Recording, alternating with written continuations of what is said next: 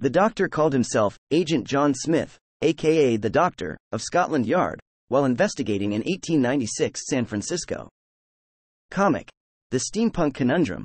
The 11th Doctor took the place of a real Dr. Schmidt when his psychic paper displayed the credentials of a visitor expected at the Lexington Bank. Prose. Borrowed time. He used it while posing as his ganger counterpart as an independent name for himself. TV. The Almost People. The doctor introduced himself as Dr. Smith, and Clara as his wife, to Mrs. Gillyflower to try and infiltrate Sweetville in 1893. TV. The Crimson Horror.